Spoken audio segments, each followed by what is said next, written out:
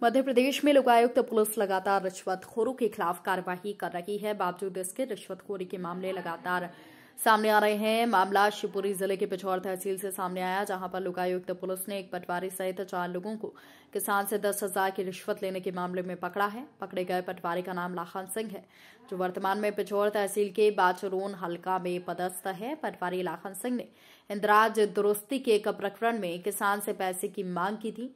फरियादी ने इसकी शिकायत ग्वालियर लोकायुक्त पुलिस से की, जिसके बाद लोकायुक्त पुलिस ने गुरुवार को पटवारी व उसके तीन साथियों को पकड़ा है। जानकारी के मुताबिक किसान बादाम सिंह लोधी के पिता सालिग्राम लोधी के नाम एक पट्टे की ज़मीन थी।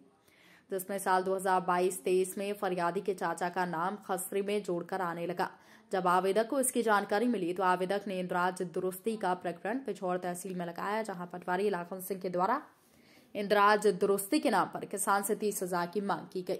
लेकिन किसानों और पटवारी की ये डील बीस हज़ार में फाइनल हो गई। बादाम सिंह ने पटवारी को एक दस हज़ार रुपये एडवांस दे दिए, जिसके बाद पटवारी के द्वारा अधिक पैसे की मांग की जाने लगी। इस पर किसान ने बाईस दिसंबर को लोकायुक्त तो पुलिस ग्वालियर में दर्ज शिकायत कराई। पटवारी ने साथियों को रिश्वत के पैसे लेने भेजा। लोकायुक्त तो पुलिस ने पटवारी और किसान की बातचीत को टैप कर प्रकरण दर्ज कर लिया है।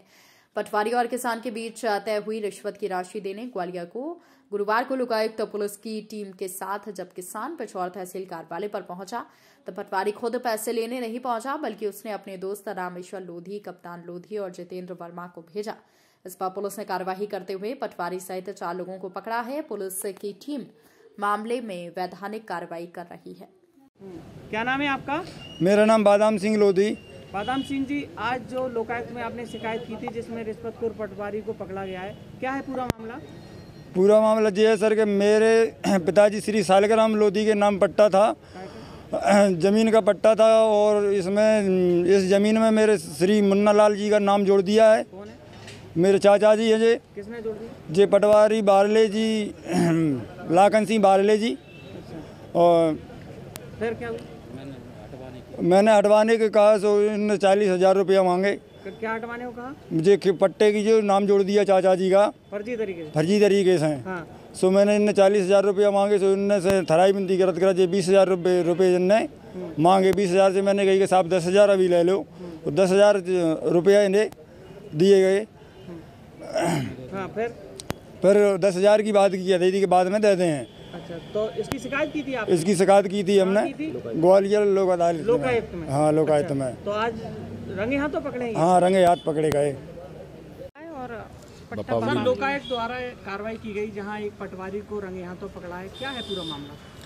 ये आवेदक हैं बादाम सिंह लोधी। इनके पिताजी के नाम पर सालिग्राम के नाम पर इनके पिता जो हैं एक पट्टा था कृषि भूमि का, जिसमें वर्ष 2022-23 की खसरा की नकल में उनके चाचा का भी नाम जुड़ के आने लगा था, जबकि पट्टा केवल इनके पिताजी को दिया गया था।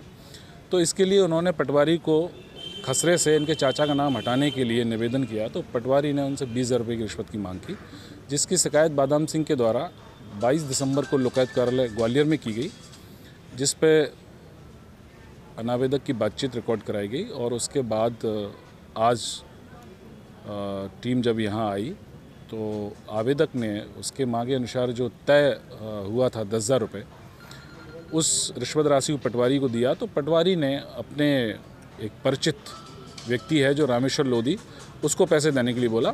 आवेदक ने पटवारी के कहे अनुसार रामेश्वर लोधी को रिश्वत राशि दे दी। रामेश्वर लोधी ने रिश्वत राशि अपने हाथों में ली और उसके बाद उसने अपने मित्र जो एक और लड़का वहाँ खड़ा हुआ था, कप्तान सिंह लोधी, उसको गिनने के लिए दी। कप्तान सिंह लोधी ने गिन के वो राशि वापस रामेश्वर लोधी को लौटा दी।